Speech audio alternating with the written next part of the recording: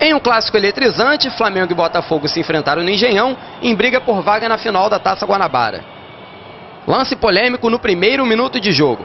Fernando recebeu o passe de Ronaldinho e caiu após a chegada de Antônio Carlos. Jogadores do Flamengo pediram pênalti, mas o juiz marcou apenas tiro de meta. Logo em seguida, Márcio Rosário recebeu o cruzamento e cabeceou, mas viu a bola saindo pela linha de fundo. Aos 14 minutos, Thiago Neves cruzou para dentro da área, Angelim subiu mais que a zaga e tocou no canto direito do goleiro Jefferson. 1 a 0 Flamengo. Ainda no primeiro tempo, o Botafogo buscou igualar o placar com o Márcio Azevedo. O Alvinegro voltou para a segunda etapa disposto a fazer o gol de empate. E aos três minutos, Louco Abreu recebeu o passe de Alessandro e mandou a bola para o fundo da rede adversária. Tudo igual no Engenhão. O Botafogo tentou a virada com o Louco Abreu, mas o goleiro Felipe espalmou a bola.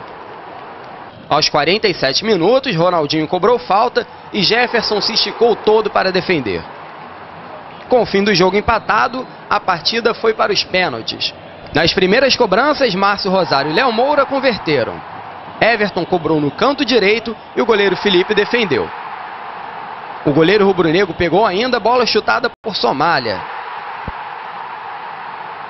Com o Flamengo vencendo as penalidades por 3 a 1, Renato Cajá tinha a obrigação de marcar para manter vivo o sonho do tricampeonato, mas ele chutou para fora. O Flamengo vence e está na final da Taça Guanabara.